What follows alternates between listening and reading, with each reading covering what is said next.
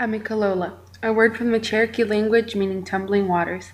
729 feet of tumbling waters, and one of Georgia's seven natural wonders. A typical weekend adventure with family had led us to this beautiful state park once before. It had proved to be the perfect fall outing destination, and I was sure there was more to it than could be seen with one visit, exactly the reason I returned for this project. Located at roughly 35 degrees north and 84 degrees west, Amicalola Falls State Park is 40.5 miles northwest of Sugar Hill in the region of Blue Ridge. As we stood at the top of the falls in awe, we debated whether to go down the stairs or the more challenging trail in order to get to the base of the falls. We opted with the trail since the day was sunny and crisp. Being in the middle of the woods with the leaves changing colors and not a cloud in the sky had to be my favorite part of the whole experience. It is a trip that can be enjoyed by anyone, but there are dangers to be considered and precautions to be taken. While observing the breathtaking falls, make sure to always watch your step and remain behind the railings.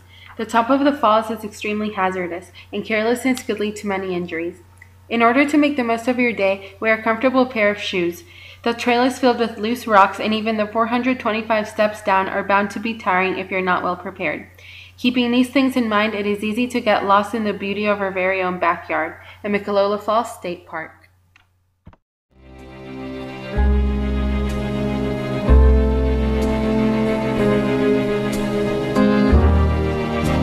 Georgia, Georgia, whole day through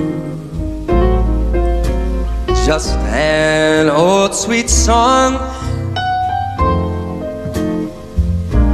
keeps Georgia on my mind.